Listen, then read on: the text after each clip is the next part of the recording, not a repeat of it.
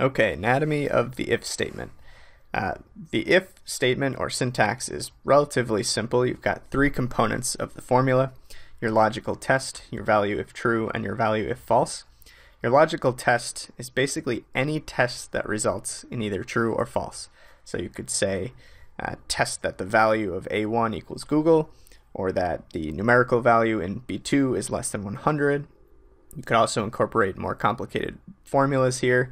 You could say if the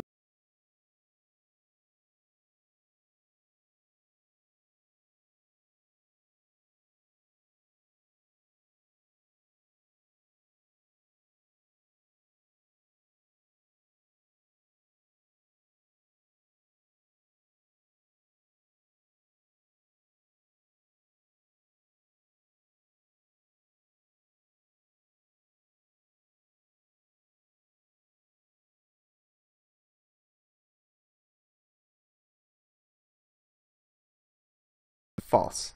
Um, so let's jump into Excel and do a hands-on demo. Uh, open the section 3 logical operators document and we'll work from there. Um, just to give you a quick background of what we're looking at, we've got weather data from a station at Boston Logan Airport. Um, don't pay too much attention because I, I made up some of these numbers, but you get the idea.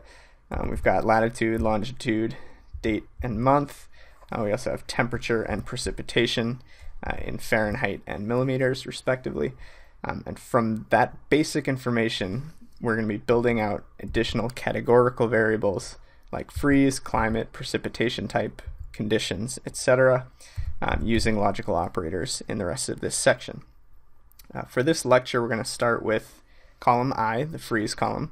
And all we want to do here is say, um, let's create a flag or a binary variable that equals yes if the temperature is freezing.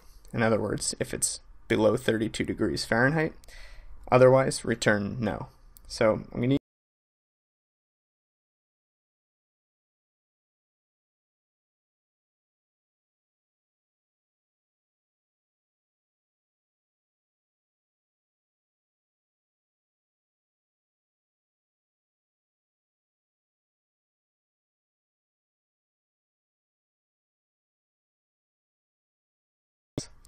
type the less than 32. So that's my test. When I hit comma, now I need to input the value if true.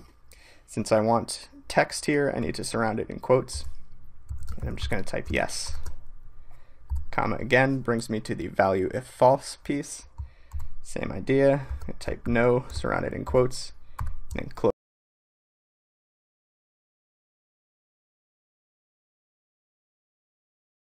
Opposed to fixing it. Um, and that's because when I apply this formula down, I want my reference to change from G2 to G3, G4, um, because I always wanted to refer to the proper temperature in the proper row. Um, so as you can see, I double click the lower right corner of the formula cell, and it has populated all the values down as far as there's data, which is exactly what I want. Um, now just to kind of spot check that it's working properly, as you can see we have some cases of missing data and NA values.